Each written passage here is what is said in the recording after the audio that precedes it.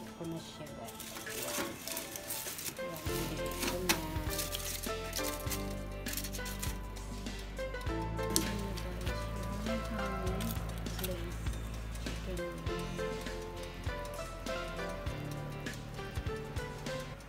A few moments later.